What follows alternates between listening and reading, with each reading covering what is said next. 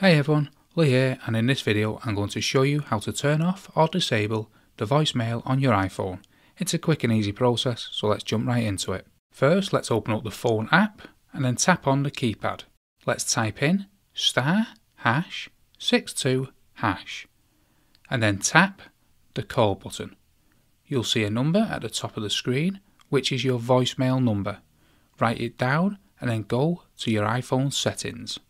In the settings, scroll down to the phone and tap on it. Then select call forwarding and then toggle it on. Tap on forward to and enter hash hash 004 hash to disable your voicemail. This code is widely used and should work for most carriers. However, if this code doesn't work, you can contact your carrier directly to disable your voicemail at their end. Keep in mind that disabling the voicemail will prevent anyone from leaving you a message, so make sure it's the right choice for you. And that's it. I hope this video helped you out in showing you how to disable your voicemail on your iPhone.